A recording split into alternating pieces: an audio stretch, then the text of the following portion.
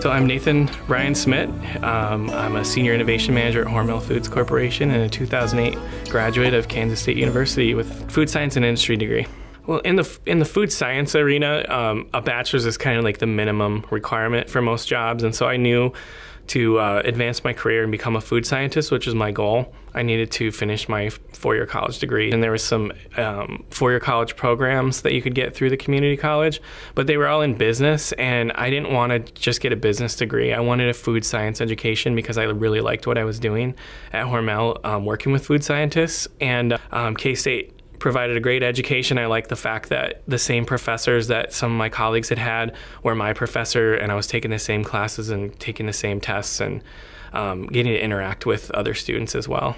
Our company saw the benefit of my education, and I was able to patent things, you know, while I was going to school, and so I caught the attention of, of the management team, and um, it was really rewarding, and um, that really ignited my career on fire. So um, it started with a scientist and I went into marketing after that and went into innovation after that. So, um, really having the food science background is powerful, um, everywhere from patenting things to developing new items to interacting with customers, the credibility it gives you. I think my top accomplishments were getting US patents because if you think about it, it it's something that you have to think of, and no one else in the world has, has thought of that. It's really hard to get, and it takes a lot of time with lawyers and with invention notebooks and testing. So I'm super proud of those because I know the amount of work that went into them and um, the fact that they're so original that even with all the people in the world, like I was able to get a patent because of an original thought that I had. The other thing that's really important to me is the new products I've launched over the years and the fact that they've contributed to people's lives and they've actually helped our company grow.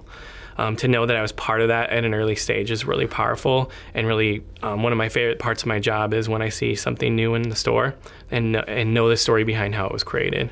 Also, as an R&D scientist, I developed one of our most successful food service bacons of all time, the uh, pecanwood bacon, pecanwood smoked. And then when I was in my innovation role, I launched uh, Skippy PB Bites. Um, they're a little uh, peanut butter snack, and I also launched PB and J Minis and dozens of other products. But um, things like that are really fun. Uh, I try to encourage a lot of people. I try to look for people that have the similar traits as me, and they're just missing the education piece, which to me was the big difference maker.